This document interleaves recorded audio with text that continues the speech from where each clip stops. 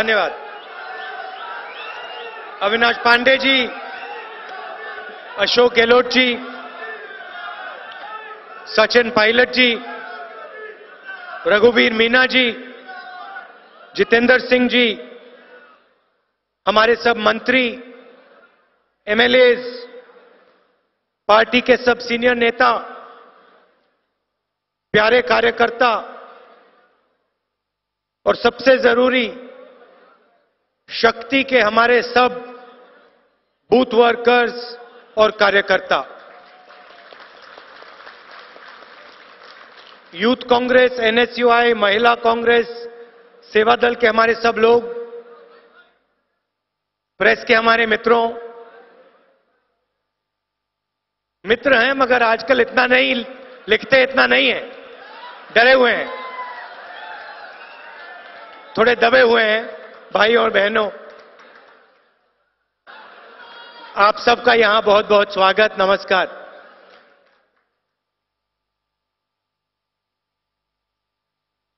चुनाव का समय है और दो विचारधाराओं की लड़ाई है। एक तरफ़, करने दो भैया, कुछ नहीं होगा। कांग्रेस पार्टी है, ये आरएसएस नहीं है।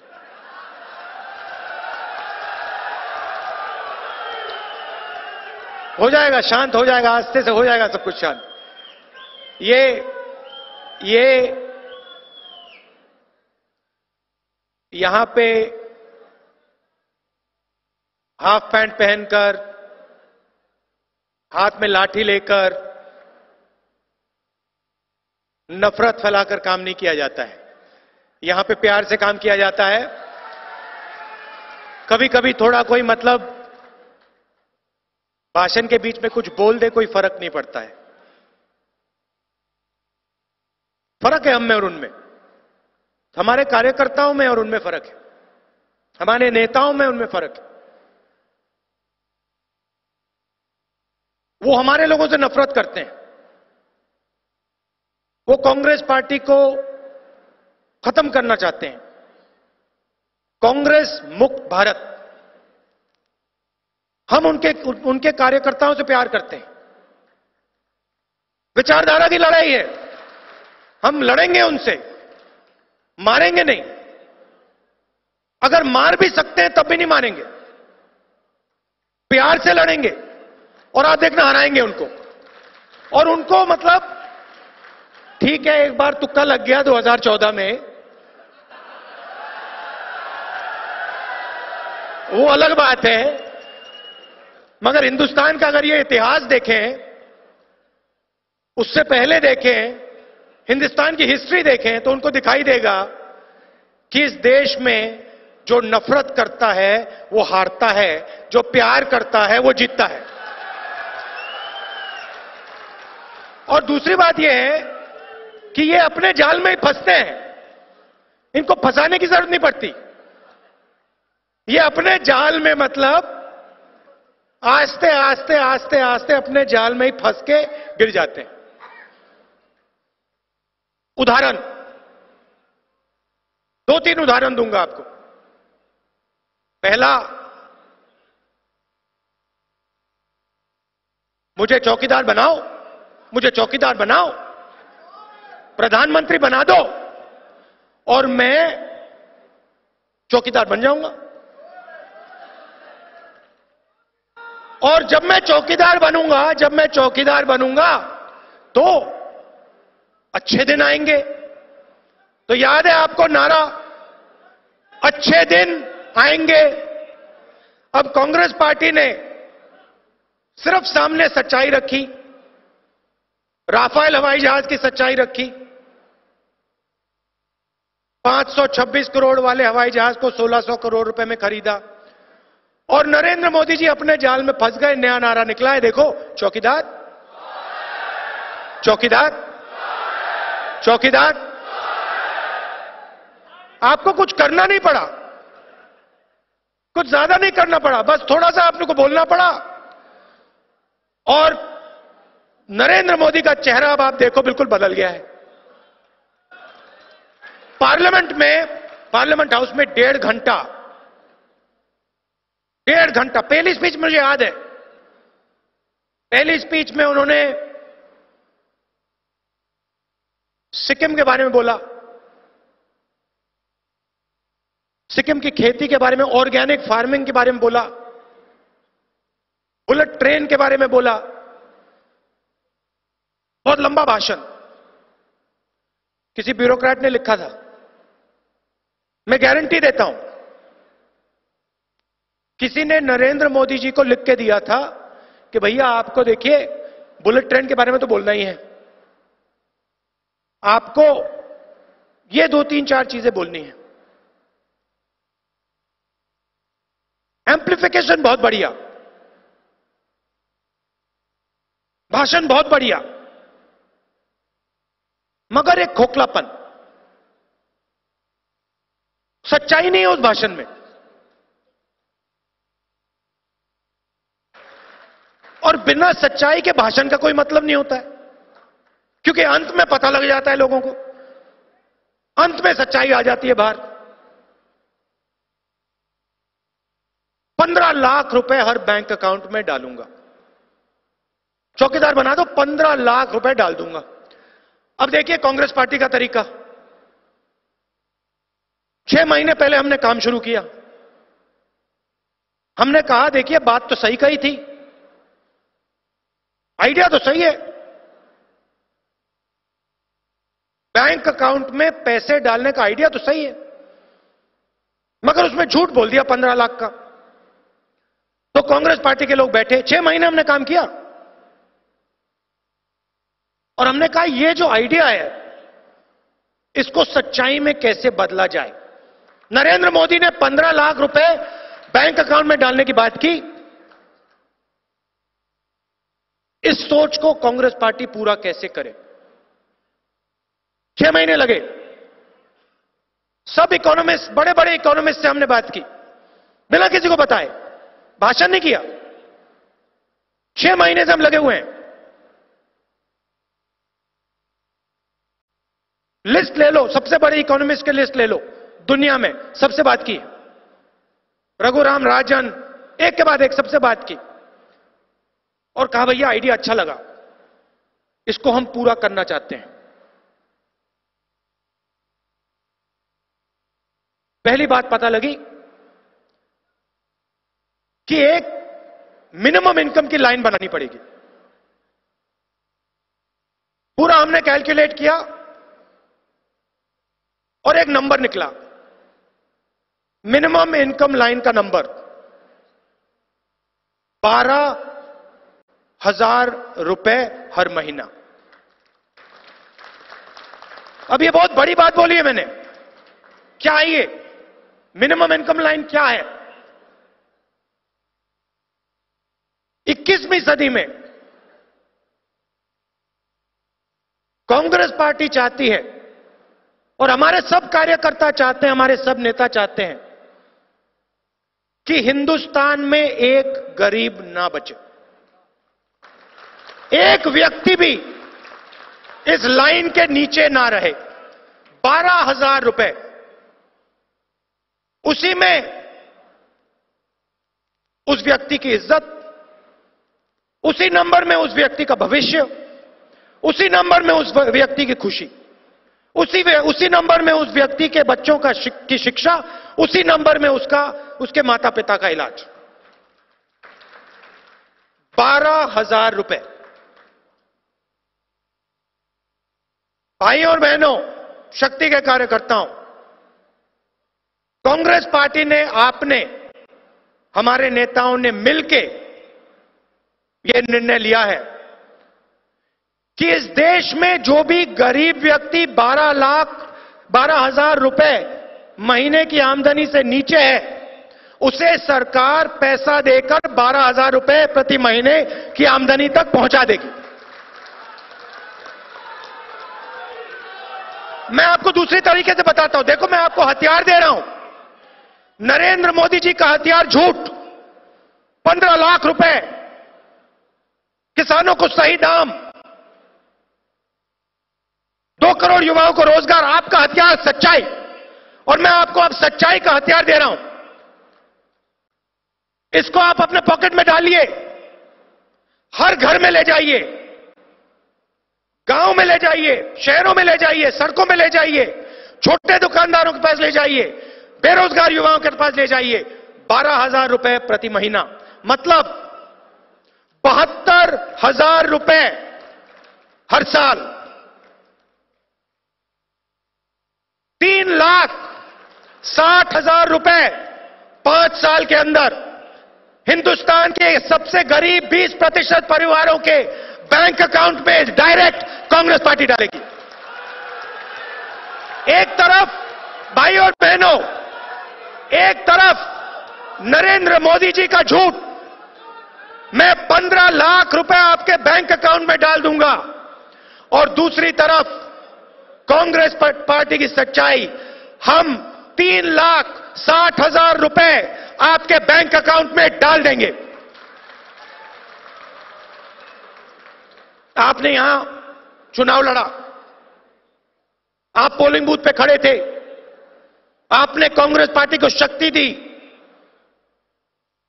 आपको मालूम है कि चुनाव में आपके नेताओं ने, मैंने, गहलोत जी ने, बाकी नेताओं ने कहा था कि चुनाव होने के दस दिन बाद कांग्रेस पार्टी गारंटी देती है कि दस दिन के अंदर हर किसान का कर्जा माफ़ हो जाएगा। सच बोला था या झूठ? नहीं, सच बोला था, मगर एक एक गलत बात बोली। एक गलती हो गई। हमने दस दिन कहा, दो दिन में कर दिया। ये ये जो सच्चाई है, ये आपका हथियार है। ये कांग्रेस पार्टी का हथियार है। ये महात्मा गांधी का हथियार है। ये आपकी हिस्ट्री है आपका इतिहास है। और मुझे आज यहाँ बहुत गर्व हो रहा है, खुशी हो रही है कि आज राजस्थान में, बाकी देश में, लाखों पोलिंग बूथ पे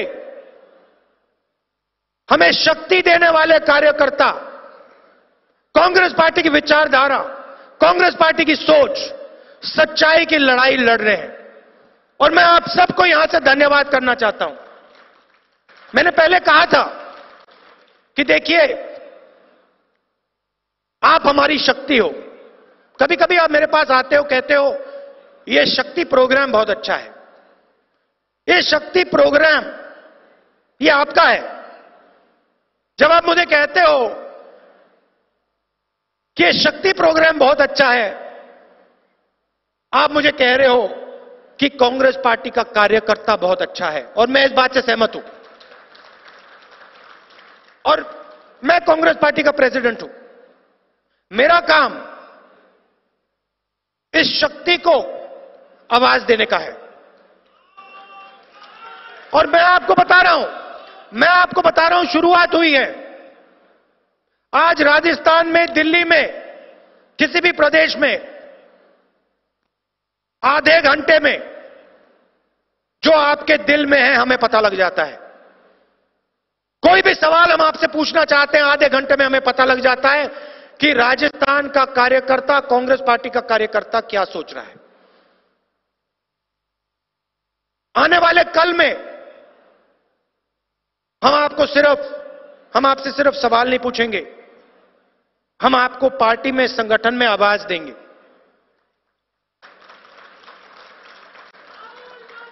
लंबा रास्ता है, समय लगेगा, मगर आपको दिखेगा कि कांग्रेस पार्टी में कार्यकर्ताओं को सचमुच में शक्ति दी जा रही है। यह हमारा लक्ष्य है। क्यों? क्योंकि आप हमें शक्ति देते हो। आप दिन भर हमारे लिए लड़ते हो। ये बीजेपी वाले आपको बदनाम करते हैं। आपके बारे में झूठ बोलते हैं। दिन भर इनका यही काम है। मगर आप एक एक इंच पीछे नहीं हटते हो। आज हिंदुस्तान के हर इंस्टीट्यूशन पर आक्रमण हो रहा है। हमारी महिलाएँ हैं, माताएँ, बहनें हैं। नरेंद्र मोदी जी ने पिछले पाँच साल में साढ़े तीन लाख करोड़ रुपए पंद्रह लोगों को दिया है। कल अरुण जेटली जी ने बयान दिया कि यह न्याय योजना से कुछ नहीं होने वाला है। मोदी जी, जो आपने पंद्रह लोगों को लिए किया मेहुल चौकसी को आपने पैंतीस हज़ार करोड़ रुपए दिए, नीरव मोदी को दिए, विजय मालिया को दिए, ललित मोदी को दिए। इन सबको आप भाई बोलते हो। मेहुल भाई, नीरव भाई, विजय भाई, ललित भाई। अच्छा एक और सवाल। ललित मोदी, नीरव मोदी, नरेंद्र मोदी, सबके नाम मोदी मोदी मोदी कैसे हैं?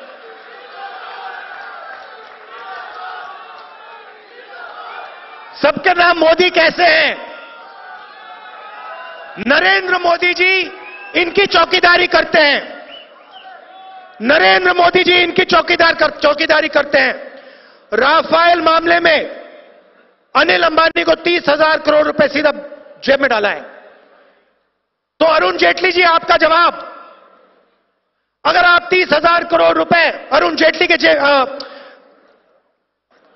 अनिल अंबानी की जेब में डाल सकते हो। अच्छा अरुण जेटली जी की जेब में भी पैसा गया। पता लगा लो, उनकी बेटी के बैंक अकाउंट में मेहुल चौकसी ने पैसा डाला है। खैर, अगर आप अनिल अंबानी के बैंक अकाउंट में तीस हज़ार करोड़ रुपए डाल सकते हो तो कांग्रेस पार्टी के कार्यकर्ता, शक्ति के कार्यकर्ता, कांग्रेस पार्टी के नेता, हिंदुस्तान के सबसे गरीब लोगों के बैंक अकाउंट में भी पैसा डाल सकते हैं और डालेंगे।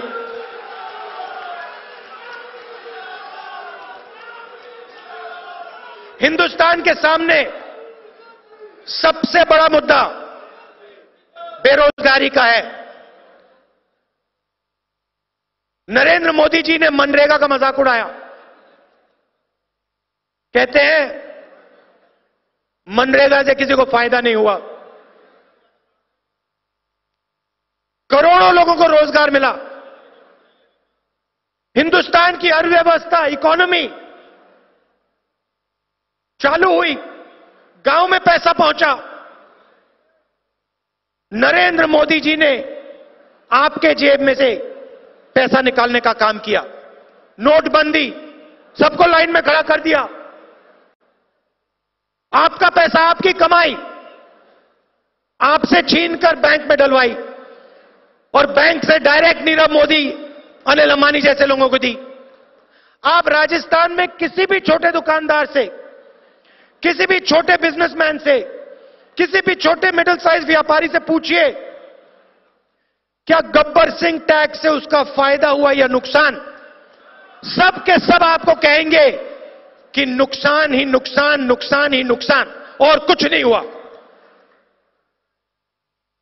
दिन भर फॉर्म भरते रहते हैं। पाँच अलग अलग टैक्स किसी को नहीं समझ आ रहा क्या हुआ। और इनकम टैक्स के लोग टैक्स वाले, इनका खून चूस रहे हैं। मैनिफेस्टो में हमने साफ़ लिखा, जो भी नया बिज़नेस खोलेगा 2019 के बाद, जो भी युवा नया बिज़नेस खोलेगा बिज़नेस खोलते वक्त नरेंद्र मोदी जी की सरकार में आपको अलग अलग परमिशन लेने पड़ते हैं। 10-15 पहले परमिशन लो, रिश्वत दो, आपका खून चूसेंगे, उसके बाद आप जाके बिज़नेस खोलोगे। जब तक आप बिज़नेस खोल पाओगे, आपका पूरा पैसा गायब हो जाएगा। तीन साल के लिए कांग्रेस पार्टी युवा एंटरप्रेनर्स को पूरी की पूरी छूट देने जा रही है। कोई परमिशन की ज़रूरत नहीं। सरकार से कोई परमिशन की ज़रूरत नहीं। सीधा आप अपना बिज़नेस खोलो। तीन साल बाद, तीन साल बाद आपको जो परमिशन की ज़रूरत है आप लेना। तीन साल के लिए सरकार से आपको कोई परमिशन लेने की ज़रूरत नहीं। पूरे हिंदुस्तान में जो बिज़नेस आपको खोलना है खोलो। किसानों के खेत के बिल्कुल पास। फ़ूड प्रोसेसिंग यूनिट खोलेंगे। जाल बिछा देंगे। राजस्थान में, पूरे हिंदुस्तान में जाल बिछा देंगे। हिंदुस्तान को फ़ूड प्रोसेसिंग का सेंटर बनाएँगे। जहाँ आप आलू उगाते हो, वहाँ आलू के चिप्स की फैक्ट्री। जहाँ टमाटर उगाते हो, टमाटो केचप। सोयाबीन सोयाबीन की तेल की फैक्ट्री। आम आम की प्रोसेसिंग की फैक्ट्री। जो भी आप उगाते हो, खेत के बिल्कुल पास, Congress party, food processing unit लगा देगी। आप सीधा जाके अपना माल वहाँ बेचोगे। और आपको सही पैसा मिलेगा। तो आपके पास अब मुद्दे हैं। चौकीदार चोर है, भ्रष्टाचार राफेल अरुण जेटली, नीरव मोदी, विजय माल्या लिस्ट है। न्याय प्रोग्राम, तीन लाख साठ हज़ार रुपए हिंदुस्तान के 20 प्रतिशत लोगों को ऐतिहासिक, आजकल की भाषा में कहता हूँ, गरीबी पर सर्जिकल स्ट्राइक कांग्रेस पार्टी ने किया। इसके बाद हिंदुस्तान में आपको एक गरीब व्यक्ति नहीं दिखाई देगा। इन्होंने गरीब को खत्म करने की कोशिश की। हम गरीबी को मिटाने का काम करेंगे।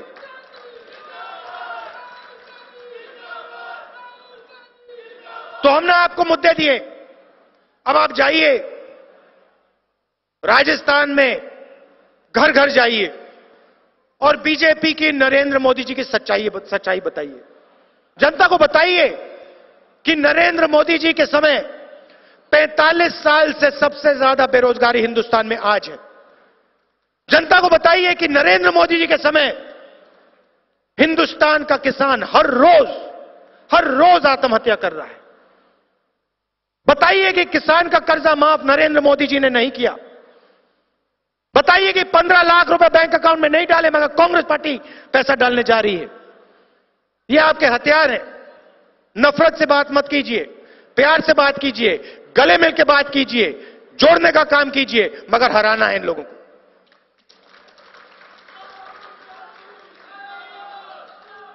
शक्ति के बारे में मुझे बताया गया है। बहुत सारे लोगों ने यहाँ पे काम किया है। आपने आपने, आप सबने काम किया है। आप कांग्रेस पार्टी की मदद कर रहे हैं। आपने ट्रेनिंग सिस्टम बनाया। हज़ारों लोगों की ट्रेनिंग हुई। घर घर आप गए। दिल से। प्यार से आपने हमारे लिए काम किया। और मैं आपको दिल से धन्यवाद करना चाहता हूँ। आप हमारी शक्ति हो।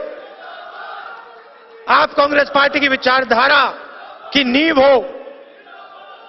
दिल से आप सबको बहुत बहुत धन्यवाद। और हमारे प्रेस के मित्रों, आपसे मैं थोड़ा सा कहना चाहता हूँ। देखिए, आप हंस रहे हो, मगर मैं थोड़ा सा कहना चाहता हूँ।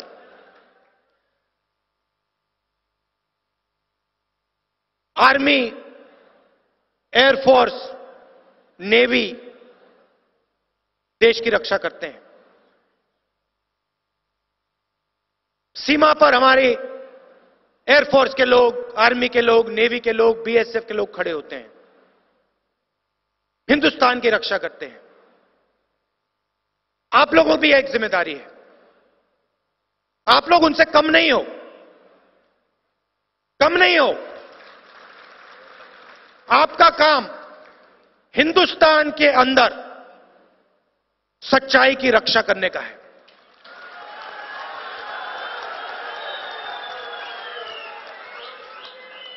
सच झूठ खड़ा है। दूसरी तरफ़ सच्चाई खड़ी और हम सब मिलकर कांग्रेस पार्टी हो, बाकी पार्टियाँ हो, हमारे प्रेस के मित्र हो, सेना के लोग हो यह सच्चाई का देश है। यह झूठ का देश नहीं है। यह झूठ का देश कभी नहीं रहा है।